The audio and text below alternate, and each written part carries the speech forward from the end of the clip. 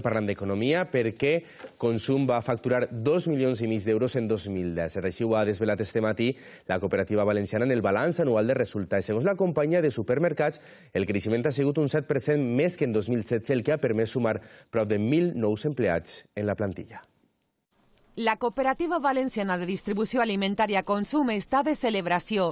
Avui s'han presentat els resultats de 2017 amb unes xifres que el seu director general, Juan Luis Uric, ha qualificat de brillants en haber facturar més de 2 milions y mig de euros. Este crecimiento está entre, sin duda entre los más altos del sector, aunque no conocemos aún todos los resultados de, de toda la distribución, pero desde luego estamos entre los primeros de la distribución en crecimiento y además considerando que hemos crecido entre un 3 y un 3,5 más por encima del sector.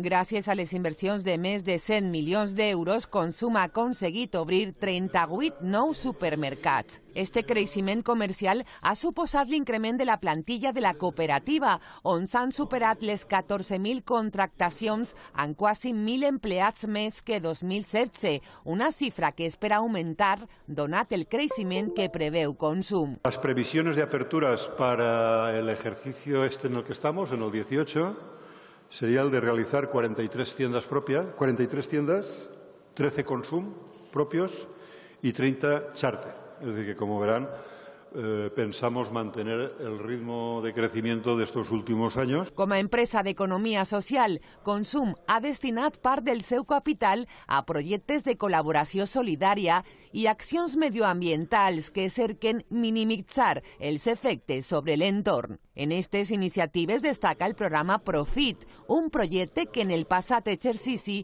va donar 6.000 tones d'aliments, beneficiant així a més de 50.000 persones en risc d'exclusió.